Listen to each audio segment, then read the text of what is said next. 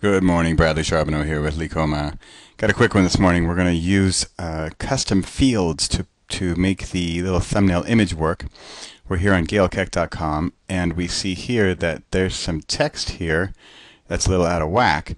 And the reason it's out of whack is because there's not the custom image that should be there. So here, A Land of a Million Elephants doesn't have the image in the right place. So we're going to go over to that post and you know what? Let's go look at the one tracking truffles that is working.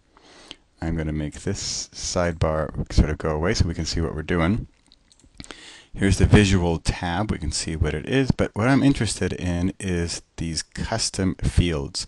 There's one here called images, and that's the home page, and we need basically the uh, file in there. Here's the file for the custom image.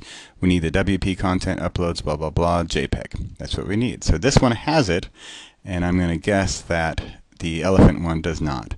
So uh, what I need is the images custom field and then copy in WP content slash whatever.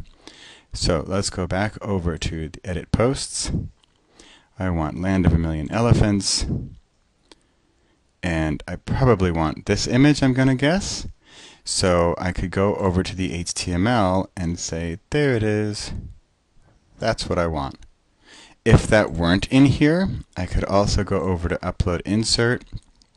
I can go to my media library, see the images. Maybe it's that one, let's say.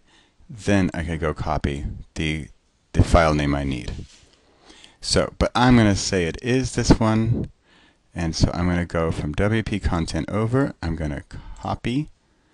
And I don't really want to insert it. It's already inserted. But I do want to make a custom field. So there's already some custom fields in use, but we want the one that's not in there. So it's called images.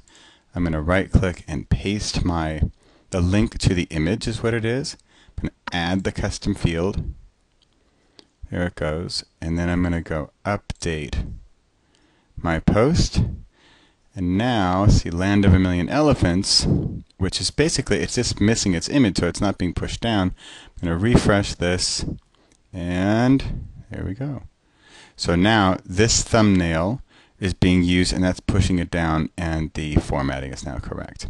So that was real quick, just a quick glance at using custom fields for the images.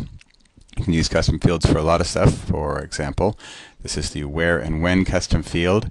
Washington Post, that's what shows up right here, by the way. And this, while I'm at it, is probably the excerpt. Let's go check. I feel like a gangster. Yes, here. That's the excerpt, and that's what shows up here. So that's it. Quick custom field look. This is Bradley Charbonneau for Likoma. Bye-bye.